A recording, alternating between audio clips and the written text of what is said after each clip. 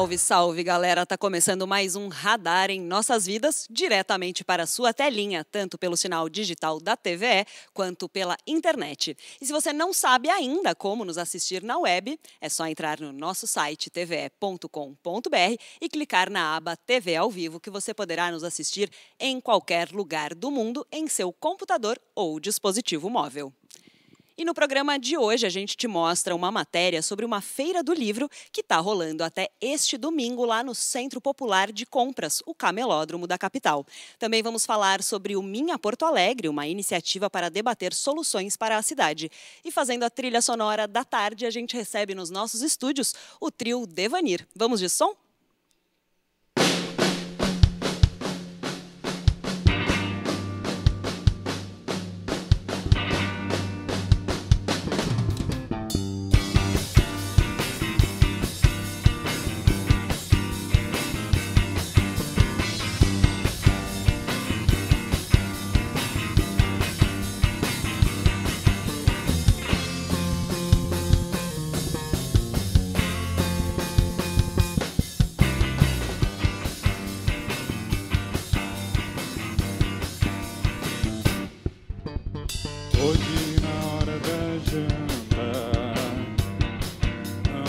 Ter samba, não vai ter farra de carnaval, só o hino nacional.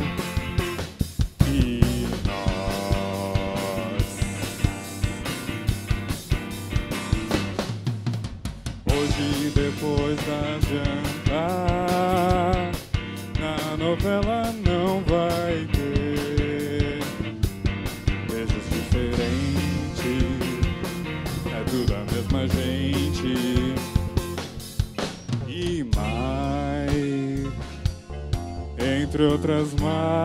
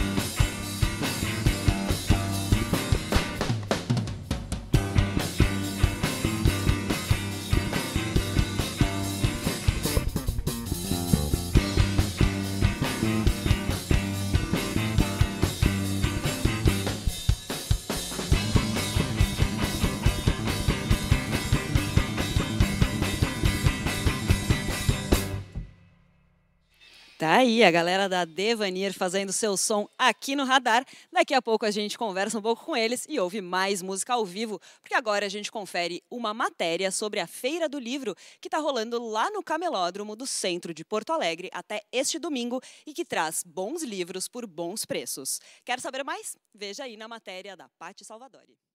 Todo mundo que conhece o Pop Center, o Camelódromo, como esse centro de compras bem democrático, pode não saber que ele está na rota cultural da cidade. Por aqui já teve exposição e agora Feira do Livro.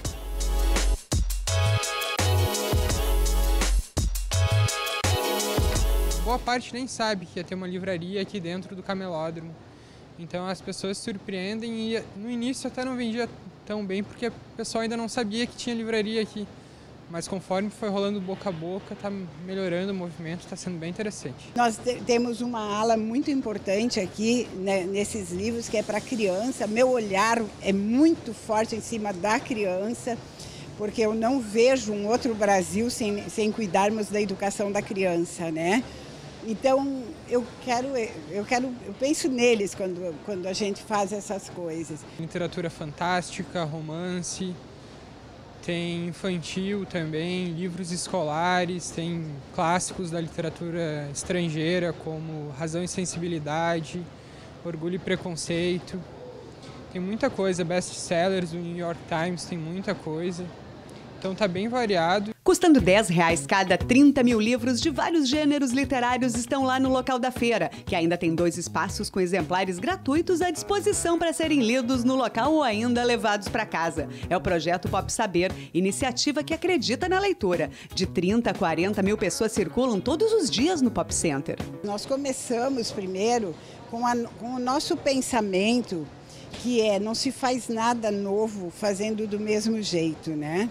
Então o Pop Center ele é o lugar onde tem a maior maior circulação de público, eu acho que do centro de Porto Alegre. Estas pessoas nem sempre têm acesso a cultura, a educação, não, não todas, porque aqui é de, de, nós temos todas as classes sociais, mas o nosso objetivo é justamente levar, despertar o desejo da cultura, da leitura, né? Então nós começamos primeiro com o Pop Saber. Nós ali recebemos doações de livros e a pessoa pode vir, tem uma bancada, ela pode ler aqui ou levar o livro embora gratuitamente. Só que a gente sempre pede para quem leva também que traga, doe para as pessoas que hoje, às vezes, né, todo mundo hoje está tá com os tablets, não, não, os livros estão. Então, nós, nós podemos ter livros para todas as, né, os, os tipos de pessoas, didáticos, tudo o que precisar, nós estamos abertos para receber.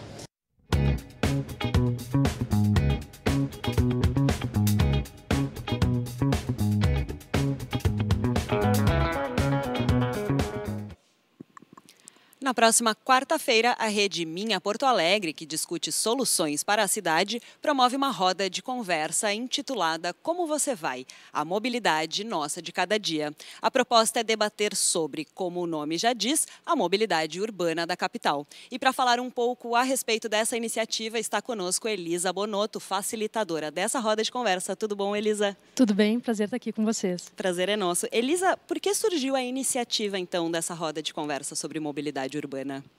Bom, essa roda de conversa vem para marcar o fim da nossa mobilização, que era um plano, que pediu um plano de mobilidade urbana para a cidade de Porto Alegre.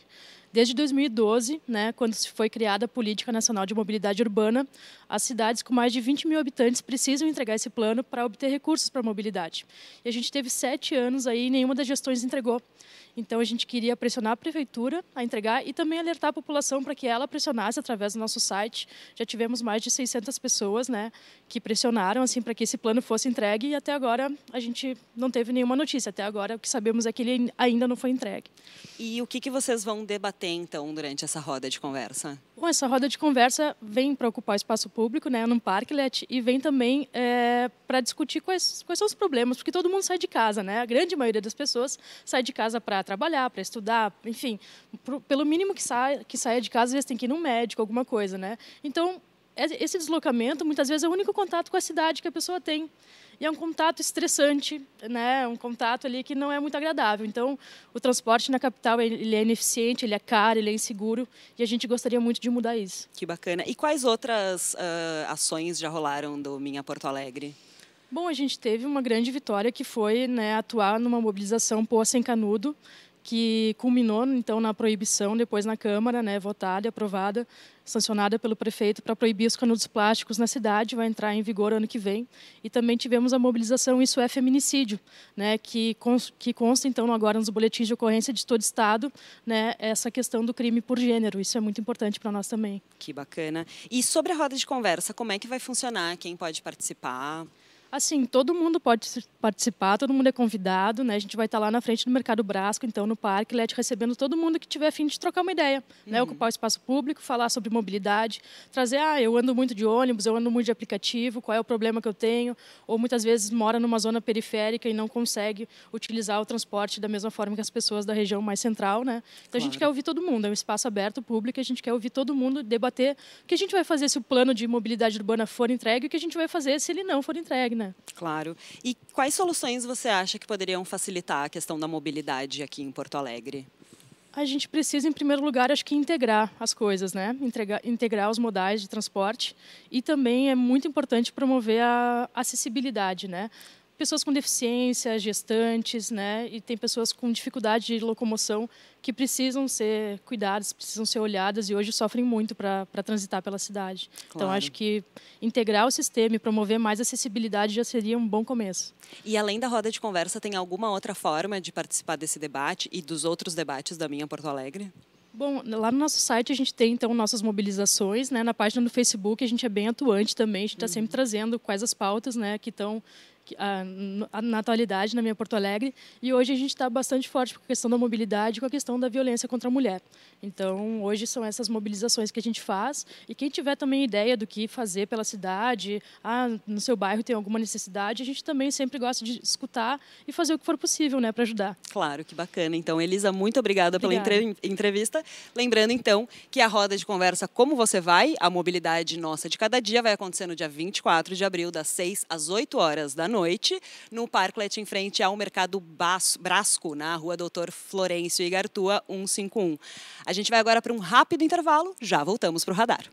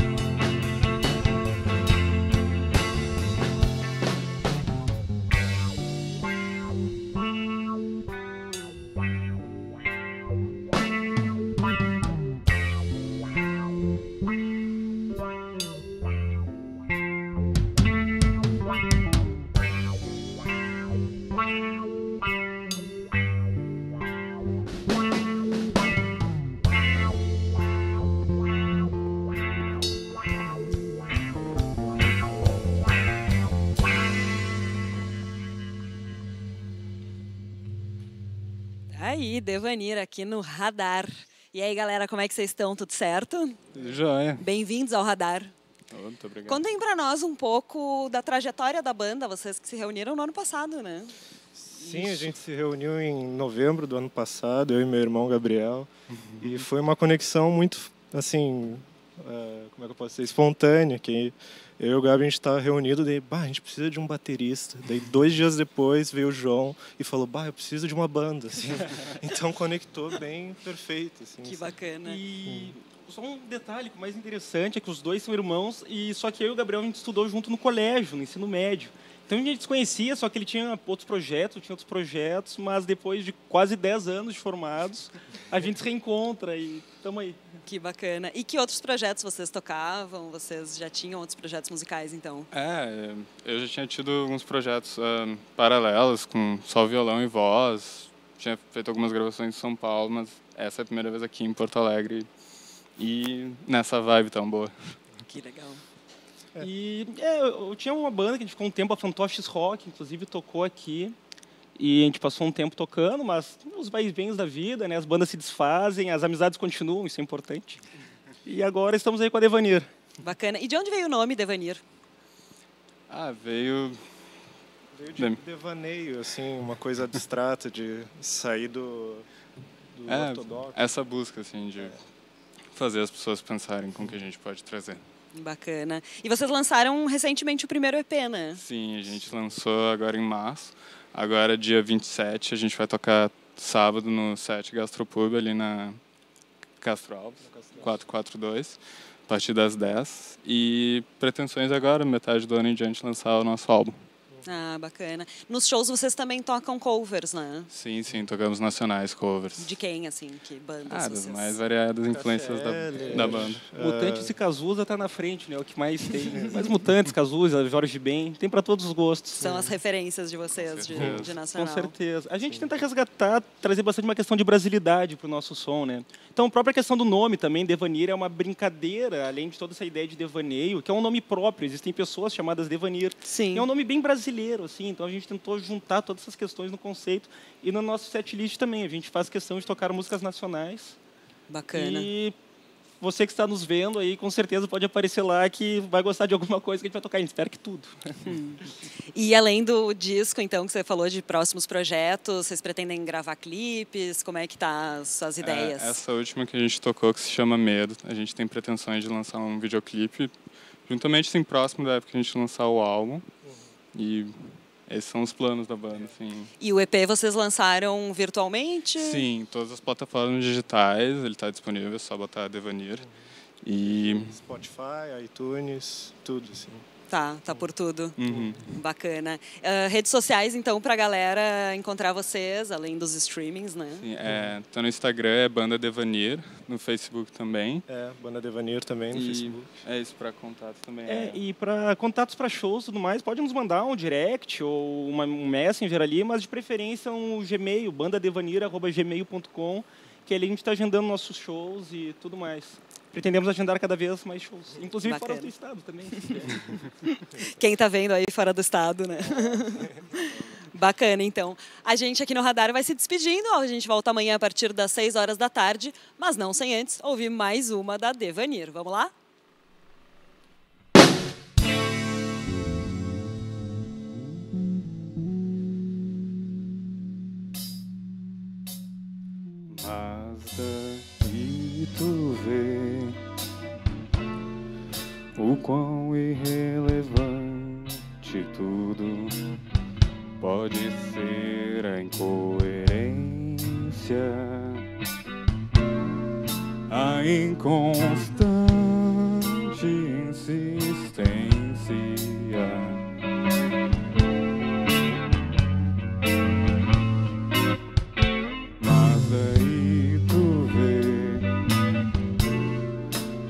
Dia que mal começou e já terminou.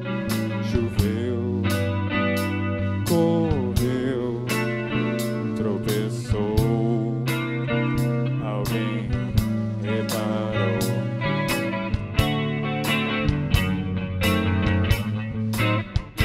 Mas daí tu vê o desconcertante saber se aquela pedra no meio do caminho foi o destino ou foi Drummond.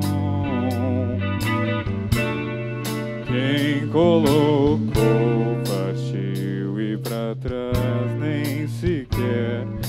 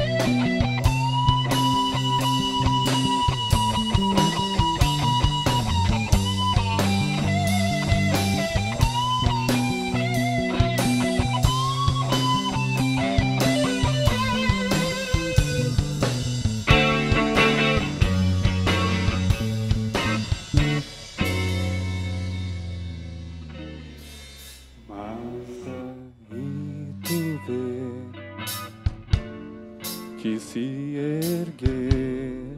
É um trabalho árduo solitário